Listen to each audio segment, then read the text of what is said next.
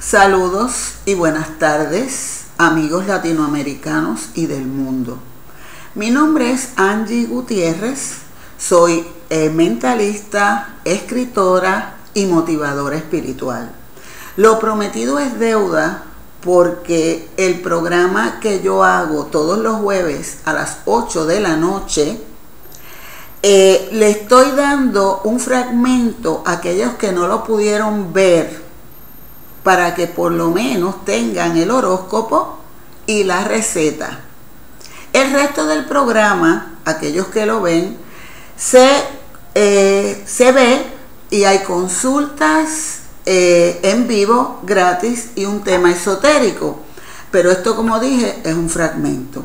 Vamos a empezar con el horóscopo espiritual que yo hago junto con mis guías es un horóscopo diferente porque viene dando consejos para que las personas puedan verse motivadas a hacer todo de una manera positiva para que tengan buenos resultados. El primer horóscopo es, el primer signo es Aries. Seres de luz vienen a ayudarte. La oportunidad de empezar dando pasos bien pensados aun cuando el ambiente no se vea o sienta favorable para ti, serás quien lo cambie por tus actitudes y lo que digas. Hay quien se queja de que eres poco comunicativo. Tal vez no quieres preocupar a nadie con aquellos asuntos que no están funcionando bien en tu lado laboral o sentimental. Si te respaldan tus familiares o personas que te quisieron mucho y no están a tu lado materialmente y si espiritual, podrás vencer lo que venga si tienes fe.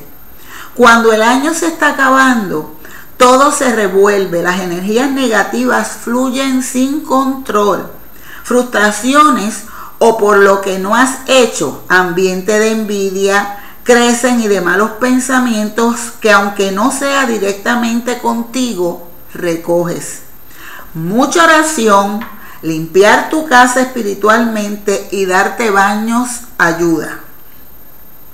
Seguimos con el signo de Tauro. Tu ángel de la guarda viene a iluminarte para liberarte de aquello que no está haciendo nada en tu vida y si te la complica. Posiblemente ya lo sabes y no encuentres cómo alejarte el ángel te dará la señal y la tienes que aprovechar. No dejes que la pena te aguante porque ese estorbo te seguirá chupando la energía sin dejar que lo bueno que es para ti llegue. Siempre tienes un vampiro energético pisándote los talones. Tú tienes la culpa por no sacar la persona de tu vida. Hay una oferta que te pondrá en una mejor posición no la hables con nadie para que se te dé. Ese puede ser el comienzo de tu liberación para que te realices. En tus manos está. No lo dejes pasar porque luego será tarde para evolucionar. Vamos con Géminis. Cuidado con dejarte llevar por lo que digan otros. No tomes decisiones sin investigar primero. Estarás en el medio de situaciones familiares o laborales donde eres el punto de interés. No puedes dejar lo tuyo para después cuando hayas empezado a resolver para llegar a tu meta. Te confunden tus sentimientos con tus deberes. No puedes hacerte responsable de lo que no tienes culpa ni cargar solo cuando hay otros que lo pueden hacer. Estarás en un ambiente cargado de dimes y diretes. Si crees que vale la pena entrar en ese circo, hazlo. Si no, haz mutis. Cuando todo el mundo grita, nadie se oye. Aprende la lección, no digas después que no te lo advirtieron. Cáncer. En ocasiones los días festivos que se acercan no te dan ninguna alegría. Vienen a ti momentos tristes y te cambia el carácter. La ausencia de seres queridos por estar lejos de ti o que partieron para siempre te produce depresión. Esa es la ley de la vida y hay que seguir adelante. Si te amargas, no destiles esa amargura donde quiera que estés. Aprende que otros no tienen la culpa de lo que te haya pasado y no tienen que soportar tu amargura. Agua pasada no mueve molino, suéltalo de una vez, entierra la situación para que cuando se acabe el año se quede atrás y puedas comenzar celebrando tu nueva vida.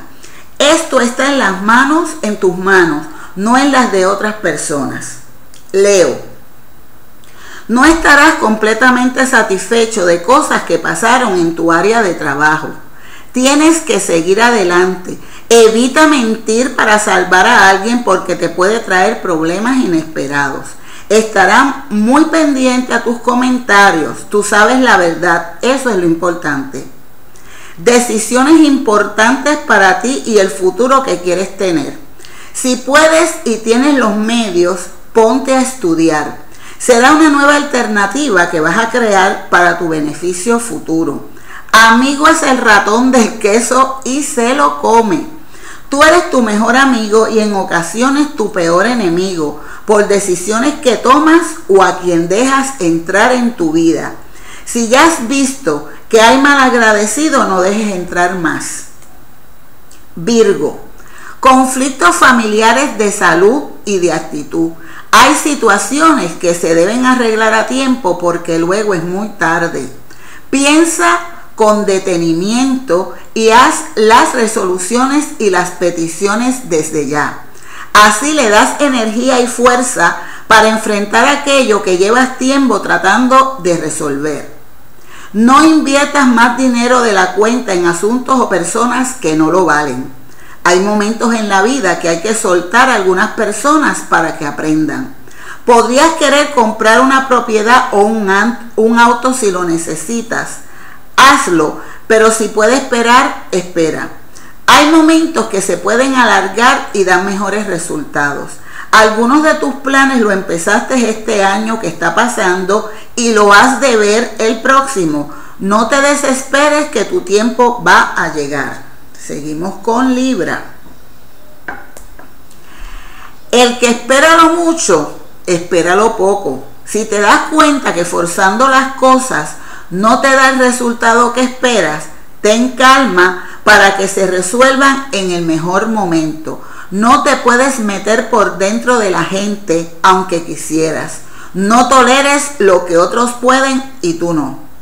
Esta es una buena época para mudanzas, a veces en la misma casa, porque te cansas de que todo esté en el mismo sitio y se ponga monótono el sitio para tu vista. También en los rincones que hace tiempo que no hay movimiento se acumula desde polvo hasta energías negativas. Estarás tomando decisiones en el hogar si es que vas a generar cambios. Si no juegas, te aconsejo que lo hagas. La suerte te quiere visitar. La gente que no sepa cuál es tu posición en tu casa, háztelo saber para que no se equivoquen. Seguimos con el signo de Escorpio. Deja que la corriente fluya, no la trates de detener porque siempre tienen que pasar por obstáculos, pero llegan al lugar que le corresponde. Si no tienes miedo, puedes vencer los retos que la vida te ponga hasta llegar donde tiene que ser. Es un camino lleno de experiencias que te llenarán de sabiduría para lidiar con los embates de la vida. Tienes la energía y la fe que necesitas. No te sabotees bajando tu ánimo. Álzalo y verás que será más fácil. Pídele a tu ángel de la guarda que está contigo todo el tiempo para lo que necesites. Eres uno de los signos con mucha intuición y fuerza espiritual. Úsala para ayuda y ayudarte, no te vas a arrepentir. No te olvides de mantener comunicación con seres y ángeles que te protegen y te ayudan. Esa comunicación empieza con la oración. Seguimos con Sagitario. Solo tú eres quien puedes decidir si sigues en la lucha o te quitas. Es término de año y siempre cuando esto sucede, te revuelve el ambiente y a muchos le da depresión. Combate el pesimismo y trabaja decretando que se acaba la pena, que vas a triunfar y que es tu tiempo de abundancia y prosperidad. Recibes ayuda de familiares fallecidos, seres de luz y ángeles. Tu conexión con ellos es muy buena. Por lo menos ellos te ayudan y tratan de que los entiendas. Tendrás la felicidad que tanto deseas si te has organizado y trabajado para lograrlo. Si es así, lo que falte te lo enviarán los seres que te acompañan. No trates de comenzar relaciones con personas que te fallaron y te traicionaron. Lo volverán a hacer. Capricornio, cuando se han creído que te han vencido y derrotado, como estés, no te vuelvas, que no te vuelves a levantar y no saben que tú eres como el ave fénix, que de las cenizas emerges. Confía en Dios, que Él te levantará victorioso. Sigue siendo, sigue haciendo planes para que cuando llegue el momento sepas lo que tienes que hacer.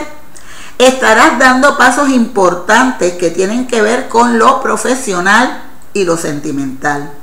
Piensa que tu vida sufrirá cambios para que estés mejor y con el ánimo arriba. Date la oportunidad de estar mejor y sigue hasta lo último. Tus metas las verás realizadas. Vamos con Acuario. Deja los sentimentalismos o los llantos. Tienes que dejar atrás todo lo que no hace nada para tu progreso. Has tenido mucha tensión por diferentes situaciones, algunas inesperadas que te pudieron traer incomodidades. Decreta pensamientos positivos y planes para tu futuro. Será parte de varias actividades por algún trabajo especial que hiciste o vas a hacer. Siempre que ayudes desinteresadamente, recibirás bendiciones de quien no te imagines. Nuevas amistades que pueden abrirte puertas. No dejes los planes de estudios muy atrás porque se te hará más difícil comenzar. Busca encontrar tu felicidad primero que la de los demás. Esa debe ser la resolución del año. Vamos con el último signo, Piscis. Deja de tratar de controlar a quien te rodea. Has aprendido que en vez de conseguir lo que quieres, te ha traído dificultades. Tienes la mala costumbre de pensar en voz alta y verdaderamente esto te ha traído poco beneficio. Si decides cambiar de actitud, te darás cuenta que, te beneficia más. Busca nuevas aspiraciones y metas para que salgas de la rutina. Se pudieran romper relaciones de pareja o de amistades. Cuidado con las decisiones financieras podrías tener inseguridad o miedo para empezar un trabajo nuevo.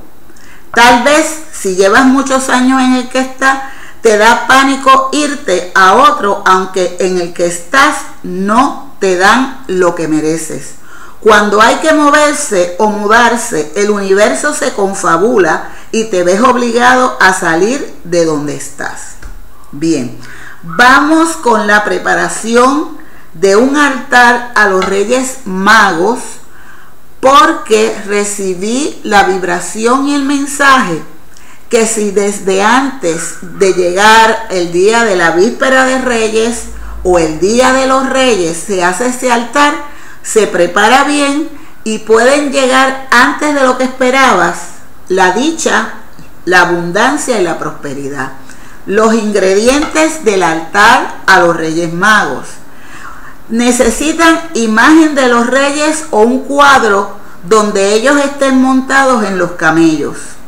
Tres copas de vino tinto, uvas playeras, si no hay uvas playeras porque no sea la época, pues la pueden sustituir con uvas verdes.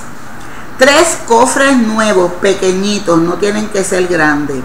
En uno van a echar mirra, en el segundo incienso y en el tercero polvo de oro o escarcha y pedazos de oro viejo, dátiles, arena de playa, un plato grande de barro, una mesa o una tablilla el velón de los Reyes Magos o un velón azul. Un paño azul o del color que se encuentre con la luna y las estrellas. Procedimiento. Ustedes van a poner en la mesa o en la tablilla el plato de barro grande y le van a echar toda la arena. Van a poner los Reyes Magos o el cuadro de una manera que le quede espacio suficiente para poner los otros ingredientes. Lo van a colocar todo que se vea bonito. Y luego van a prender ese velón. Ponen el paño que lo hay en donde venden tela. Siempre hay este tipo de tela que se ven estrellas, se ven planetas, se ve todo esto. Ese tipo de, de pedazo de tela para que cubra la tablilla o la mesa pequeña. Y ustedes cuando van a prender la vela, que la van a prender en la misma arena, todo va dentro de la arena. Van a prender el velón y antes tienen que saber qué es lo que van a pedir. Salud, dinero, amor, resolver los problemas, todas esas cosas, ustedes le van a pedir con mucho respeto y humildemente a esos famosos tres reyes magos que, trae, que trajeron mirra, incienso y oro al divino niño, al nacimiento del niño Jesús. Háganlo con mucha fe que van a resolver porque lo están haciendo desde antes que se acabe el año. Bueno amigos, quiero recordarles que pueden buscar en Facebook mi fanpage que se llama Tiempo Místico Entretenimiento. Ahí le dan like o me gusta y pueden ingresar, como se lo he dicho a todas las personas y se lo escribo, a ese grupo selecto de personas que le gusta todo lo que tiene que ver con lo espiritual para ayudarse y ayudar a otros. ¿Saben ustedes que tengo un libro escrito que está, es un ebook que se encuentra en amazon.com? Tengo otra página que tiene el horóscopo del mes de noviembre completo y me consiguen en www. entre dos puntos entre dos mundos perdón punto net saben que el programa que tengo por internet se llama entre dos mundos es todos los jueves a las 8 de la noche, hora de Puerto Rico. Lo pueden ver por esa página, por ese fanpage Tiempo Místico. Y ustedes pueden escribir las dudas, las preguntas que tengan, que yo les prometo que se las voy a contestar. El tema de la próxima semana, el próximo jueves a las 8 de la noche, es la canalización.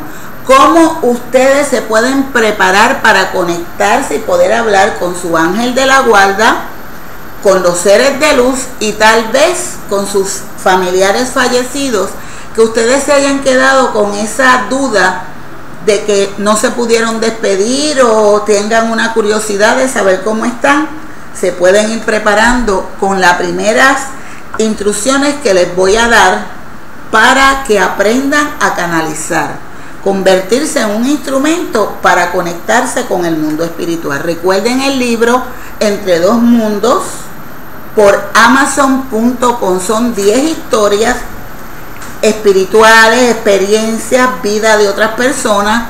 Y es bien entretenido y también le va enseñando lo que es verdaderamente el mundo espiritual. Dios los bendiga, un abrazo espiritual y hasta el próximo jueves. Bye.